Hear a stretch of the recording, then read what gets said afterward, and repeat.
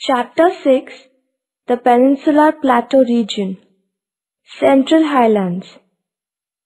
We will study the following points in this chapter. 6.1 Physiography. 6.2 Climate. 6.3 Soils. 6.4 Natural vegetation and animal life 6.5 Population and settlement 6.6 Economic development which includes agriculture, mining, industries, transportation, tourism. 6.7 Natural hazards and environmental problems.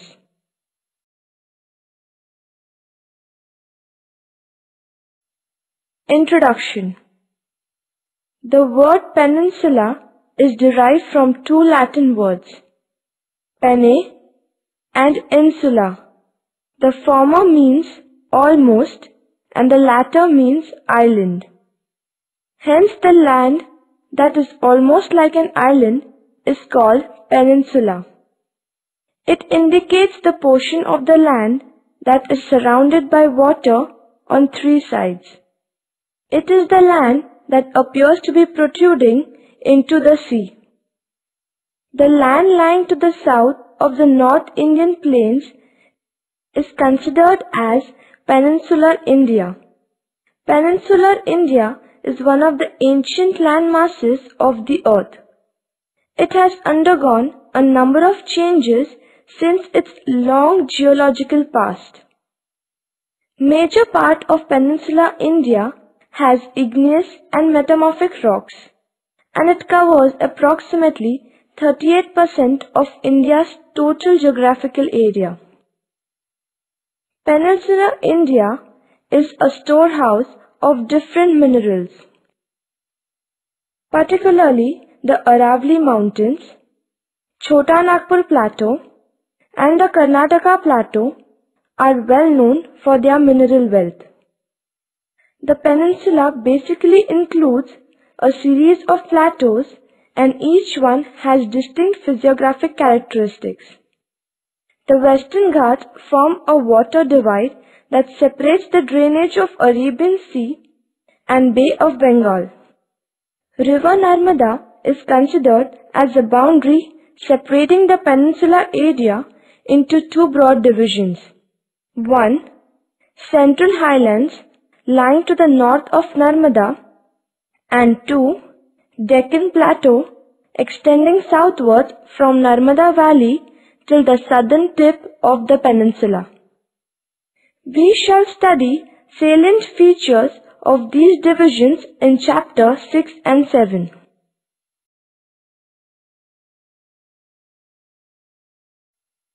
The Central Highlands 6.1 Physiography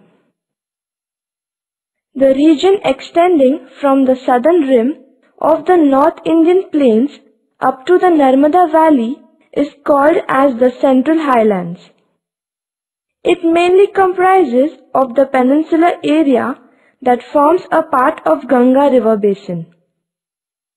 The Aravalli Mountains, East Rajasthan upland, Malwa Plateau, Bundelkhand, Baghelkhand, Chota Nagpur Plateau and the Vindhya Range form the subdivisions of the Central Highlands. Most of the rivers originating from north in this physiographic division flow in a southwest to northeast direction. The Central Highlands are wider in the west and the width decreases towards the east. Some of the noteworthy landscapes of this physiographic divisions are Mount Abu in Aravalli Mountains, ravines of river Chambal, Marble Gorge of river Narmada near Jabalpur, and Kaimur escarpment in the far eastern part of the Central Highlands.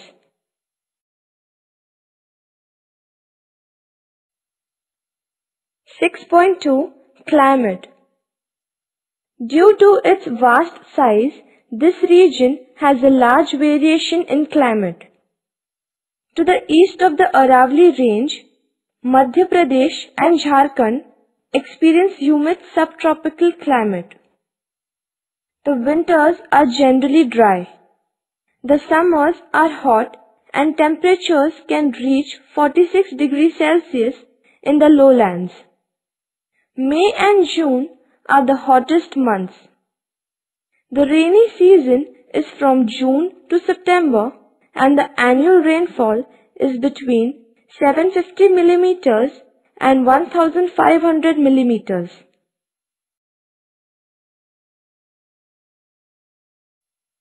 Six point three Soils Black soil formed from basalt rock is found in Madhya Pradesh.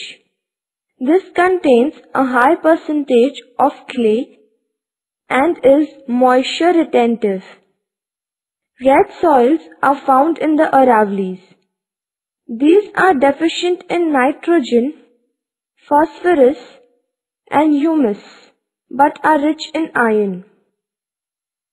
Laterite soils are formed in the eastern regions receiving heavy rainfall. Heavy rainfall results in leaching out all soluble material of the top layer of soil. 6.4 Natural Vegetation and Animal Life The natural vegetation in Malwa region is tropical dry forest with scattered teak forest. The main trees are babul, bombax, and acacia. Antelope, black buck, and chinkara are some common animals.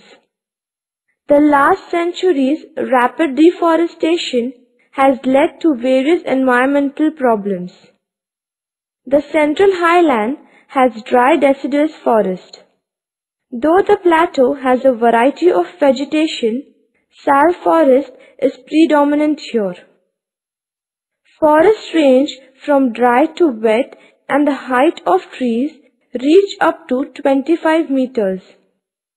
The plateau is also swampy and in some places and in other parts is covered with bamboo clumps and shrubs. Tigers, Asian elephants, four-horned antelope, black buck, chinkara, and wild dog are some of the animals found here, while birds include the threatened lesser florican, Indian grey hornbill and other hornbills. More than half of the natural forest on the plateau has been cleared for grazing and large-scale mining operations. It disturbs the movement and the survival of wildlife including elephants and tigers. Hence some of the plateau regions are protected areas. 6.5 Population and Settlement Population density in this region is average 200 to 500 persons per square kilometer, except Chhattisgarh where it is 100 to 200 persons per square kilometers.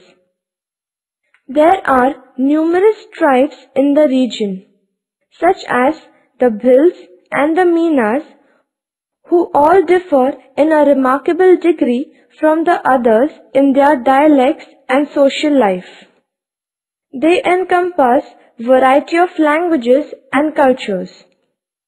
Some tribes of the region notably a nomadic tribe from the Marwar region of Rajasthan. The Gadia Lohars who work as Lohars visit the region at the beginning of the agricultural season to repair and sell agricultural tools and implements.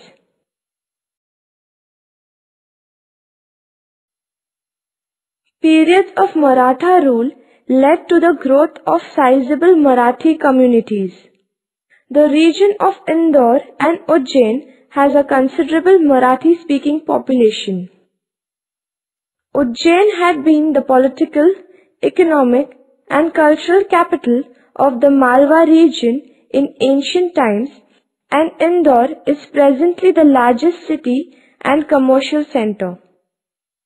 Throughout the hilly tract of the Aravali region, hamlets are widely dispersed, whereas hills of Mewar, Marwar and Alwar have isolated farmsteads.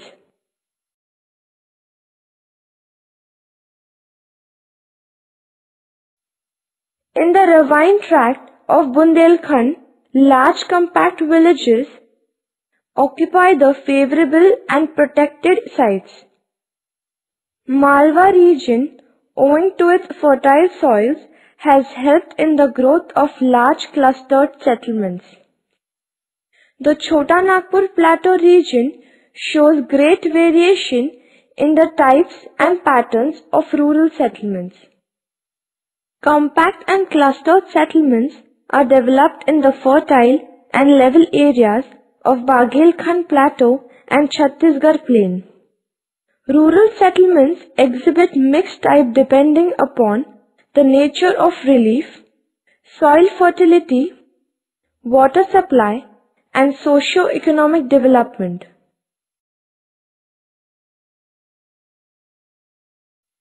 Six point six Economic Development Bundelkhand and adjoining areas have vast resources in terms of land, forests and minerals. But the area is far behind others in agriculture and industries. Agriculture Agriculture is main occupation of people in the region. Cotton and soya beans are important cash crops in this region. The other major crops grown in this area are wheat, rice, jawar, maize, bajra, gram, moong, urad and soya bean. Peninsular plateau of India is dependent on rains for irrigation. Though the major sources of irrigation in Bundelkhand are wells, the water in the wells depend upon the rain. The second major source of irrigation is ponds which are spread all over and serve as a major source of drinking water as well as irrigation. Actually, the water table in the region as well as in the wells is maintained by these traditionally existing ponds. The infertility of land, low productivity, lack of irrigation facilities and non-use of modern methods have hindered the development of agriculture.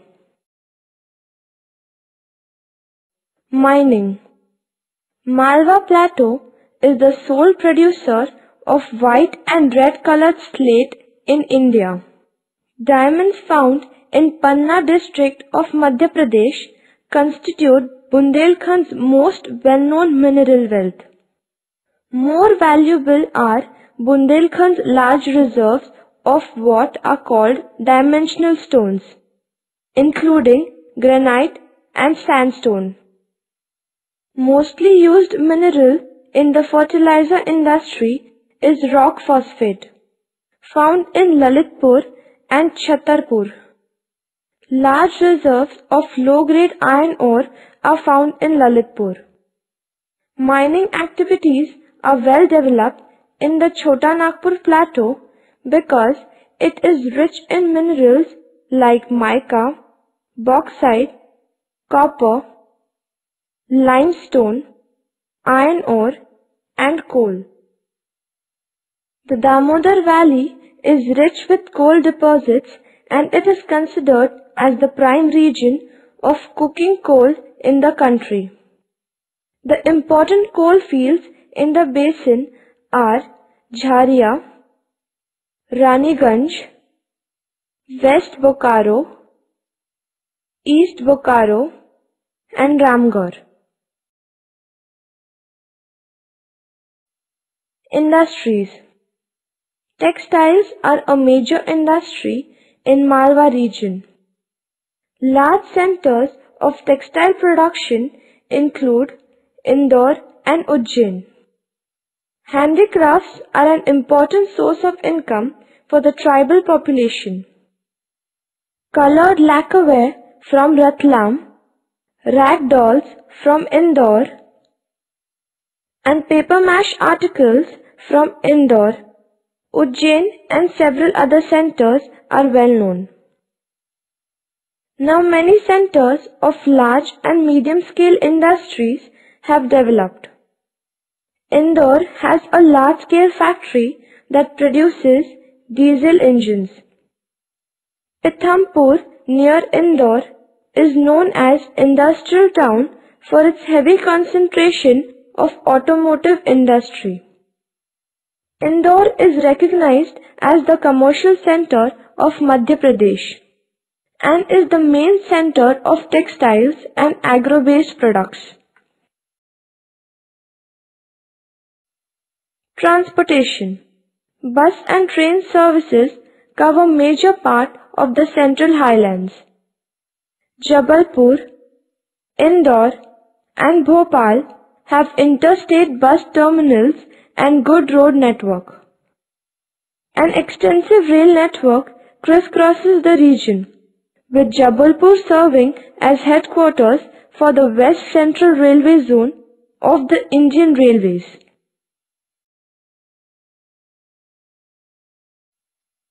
Tourism Bundelkhand and Baghelkhand have a rich cultural background. Bundelkhand has numerous forts, palaces and temples. This region is a land of ancient culture and tradition.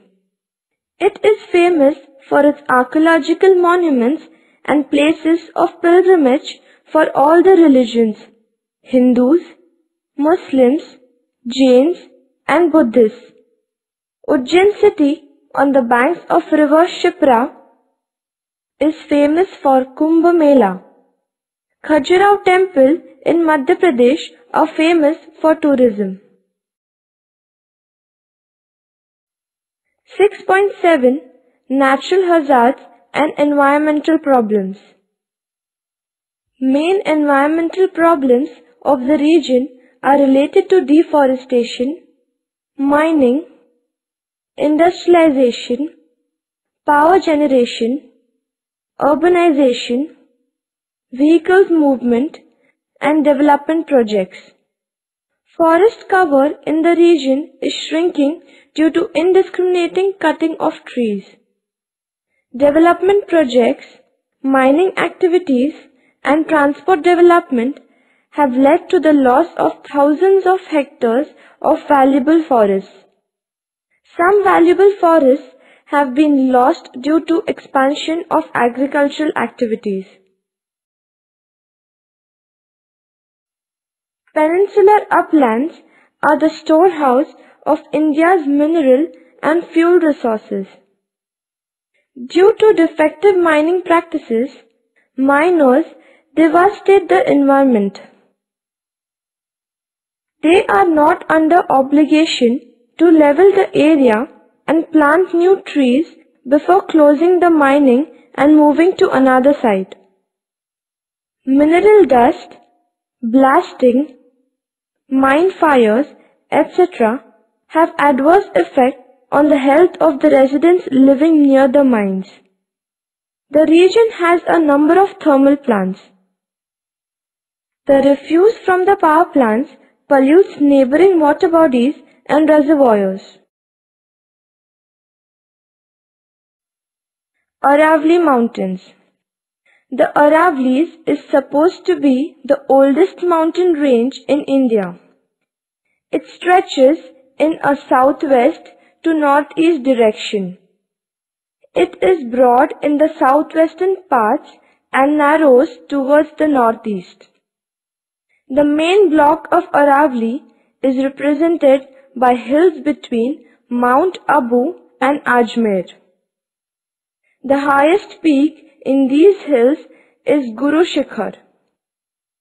Towards the northeast, the height of these hills decreases and they also appear more or less as a chain of broken hills. Due to the erosion by headwaters of Banas, river along the eastern slopes as well as the erosion by Luni river along the western slopes. The Aravali hills have receded considerably. Of course, the recession is greater along the eastern slopes. This has resulted in narrowing of the Aravali range in the central part, giving the entire hill chain a shape of a dumbbell. These hills form a part of the water divide in this region.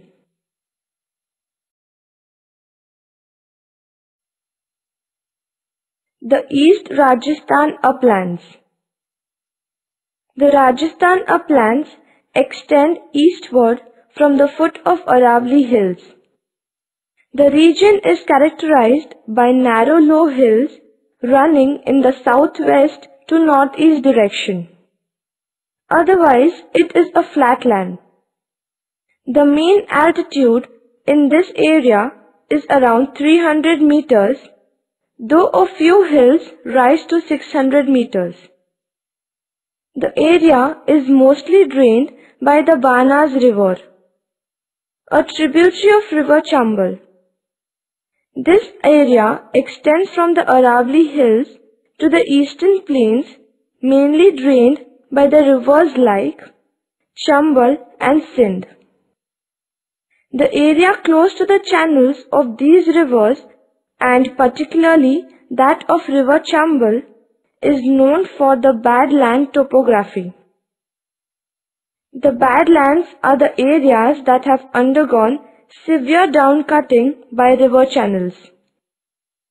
The Chambal badlands are also known as Behads.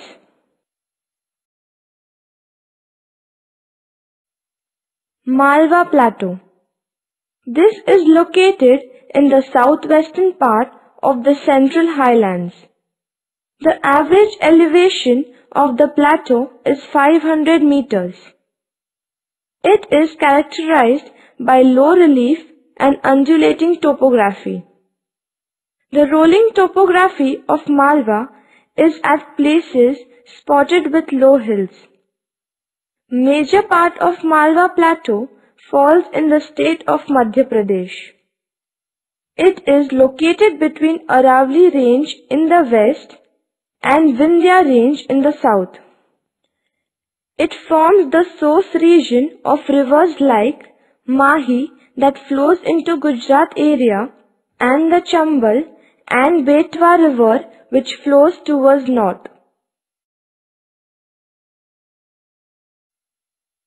Bundelkhand the region lying to the northeast of Malwa Plateau is known as Bundelkhand.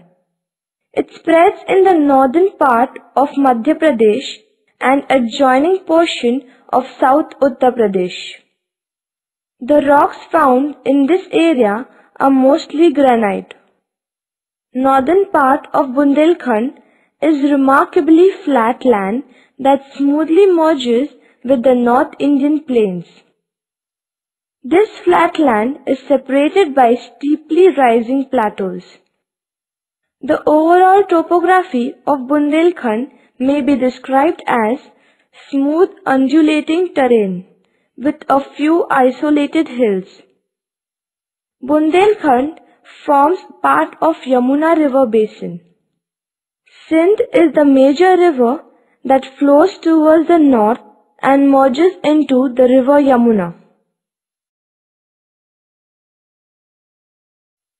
Vindhyanchal, Baghelkhand. The region to the southeast of Bundelkhand and east of Malwa Plateau is known as Vindhyanchal, Baghelkhand. This area is mostly drained by river Tones, river Son and its tributaries. The Vindhyachal forms a chain of scarps running into a southwest northeast direction. However, those steep, the northern scarps are somewhat discontinuous against their southern counterparts, which form a continuous wall-like structure. Most of the Vindhyachal area falls within the state of Madhya Pradesh.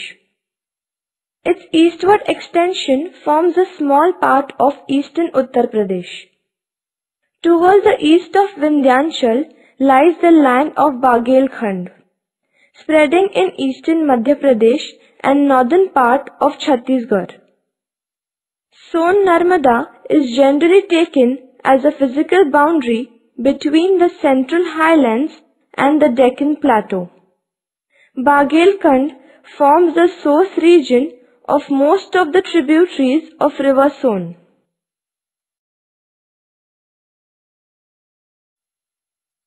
Chota Nagpur Plateau Much of this plateau spreads in Jharkhand and extends into the adjoining states like West Bengal, Chhattisgarh and Odisha.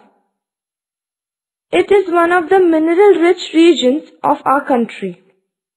Granitic gneiss are found in large tracts in the central part of this region.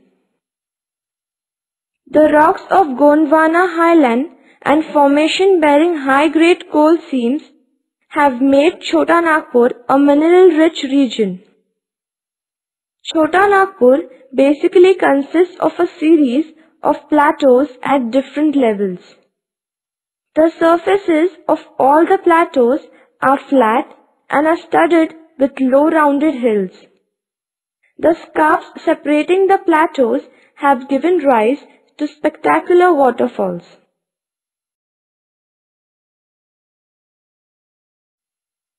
The Vindhya Range The Vindhya Range practically forms a boundary between North and South India. It spreads from eastern part of Gujarat up to Bihar for a distance of about 1100 kilometers. The altitude of this region is about 450 to 600 meters, though at a few places the altitude exceeds 900 meters. It does not have many peaks. The southern margin of this range defines the edge of river Narmada. The southern slopes of the Vindhya range are quite steep. The northern slopes of the Vindhya range are quite gentle and they extend northward for quite some distance.